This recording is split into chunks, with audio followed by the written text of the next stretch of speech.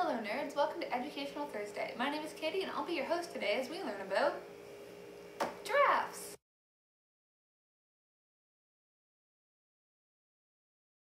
Giraffes have been my favorite animal since I was a kid, so even though I know you're all experts on giraffe sex already, I thought I would take this opportunity to share with you some other interesting facts about giraffes. Giraffes are the tallest living land animals, standing at 5 to 6 meters in height. There are nine subspecies of giraffe which occupy territory in much of Africa. The nine subspecies are the Nubian giraffe, the reticulated giraffe, the Angolan giraffe, the Kordofan giraffe, the Maasai giraffe, the Rothschild giraffe, the South African giraffe, the Rhodesian giraffe, and the West African Physically, the subspecies are mainly distinguished from one another by the patterns of their coat. This is not always reliable means of differentiation though, as evidenced by the fact that several groups of Kordofan giraffes were believed to be West African giraffes until genetic testing revealed the truth in 2007. This information showed that West African giraffes were in fact much rarer than they had been believed to be, with only about 300 individuals remaining today. This means that the subspecies is endangered, which is the case for several of the subspecies of giraffe. Others, however, have tens of thousands of members remaining in the wild, with a total of about 80,000 giraffes living in the wild today.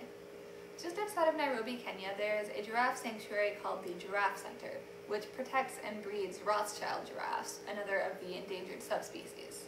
At any given time, there are about a dozen giraffes at the center, which are bred to increase the population and to produce new giraffes which can be released into the wild. Affiliated with the center is a hotel called Giraffe Manor, which has special windows and openings in the hotel so that guests can actually feed the giraffes directly from where they're staying. Additionally, all the proceeds from the hotel go back into supporting the center so that the giraffes can be protected. Giraffes are known for their distinctive long necks, which allow them to eat off of trees, reducing competition for food from other herbivores. The necks are also used by males in combat, where they fight with each other by swinging their neck in order to hit one another with the horns on the tops of their heads. These horns are actually ossicones, which are ossified cartilage, and in addition to their combat use, they also may play a role in regulating the giraffe's body temperatures. Another distinctive feature of giraffes are their tongues, which are a very, very dark purple, almost black, and super creepy. Although giraffes are generally quiet animals, and there's no particular sound that we know as the giraffe sound, they do communicate with one another in a variety of ways, including bellows, snorts, hisses, coughs, bleats, moos, and meows. Giraffes also use infrasound, which are very low frequency noises, below the normal range of human hearing. Infrasound allows them to communicate with each other over long distances, up to several miles. The giraffe's Latin name, camelopardalis, is the result of a misconception by the Greeks and Romans, who believed that giraffes were a hybrid of camels and leopards. I'm not sure how exactly they thought that that hybridization happened, but that's what they believe.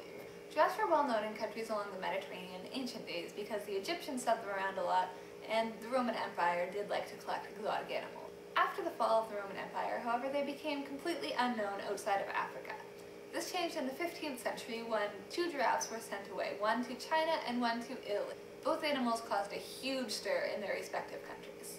After this, giraffes weren't seen in Europe again until 1827, when three giraffes were sent as gifts by Muhammad Ali Pasha, the Viceroy of Egypt. He sent one to Roman Emperor Francis II, one to King George IV of the United Kingdom, and one to King Charles X of France. It was this last giraffe who became the most well-known. She was shipped to Marseille where she spent the winter before walking the 900 kilometers to Paris.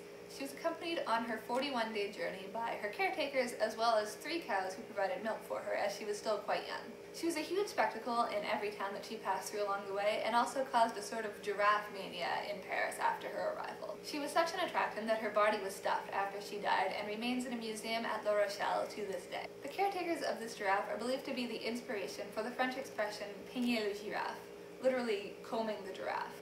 This is an idiomatic expression which means working in vain at a long useless task, or more generally, to be wasting your time. I hope this video hasn't been a waste of your time. Thanks for watching and don't forget to be awesome.